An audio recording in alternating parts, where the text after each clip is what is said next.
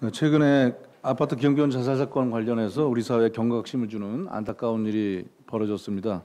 지난 10일 서울 강북구의 한 아파트 경비원이 주민의 폭언과 갑질에 극단적인 선택을 하였습니다. 시민사회는 가해자의 처벌과 재발 방지책을 촉구하는 등 전 사회적으로 비판과 자성의 목소리가 커지고 있습니다. 경찰은 경비원을 폭행한 것을 알려진 주민을 소환하여 조사에 들어갔습니다. 철저한 진상조사와 이에 따른 처벌은 반드시 이루어져야 할 것입니다. 또한 이번 같은 사건이 반복되지 않도록 관련한 제도 개선의 요구도 높아지고 있습니다. 사회적으로 불행한 이번 사건이 어제 오늘의 일이 아니기 때문에 더욱 그렇습니다.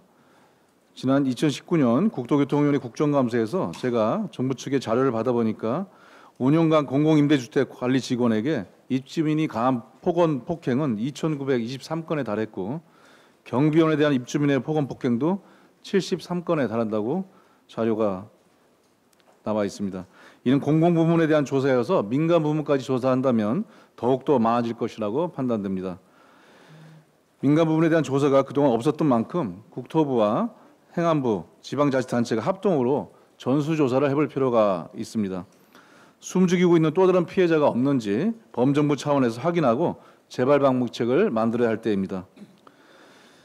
지난 2017년 경비원 등의 인권 존중과 업무 외에 부당한 지시를 하지 못하도록 공동주택관리법을 대표 발의해서 본회의에 통과된 바가 있습니다.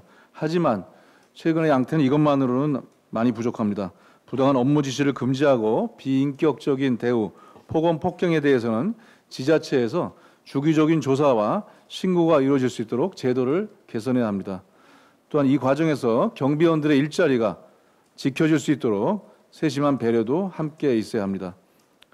저희 당은 21대 국회가 개헌하면 신속히 대안을 마련해서 보안 입법에 착수해야 할 것입니다. 우리 당은 문재인 정부와 함께 숨죽이며 폭언과 갑질 등 부조리에 하루하루를 살아가는 분들을 위한 노력에 앞으로도 더욱 최선을 다하겠다는 것을 밝혀드립니다.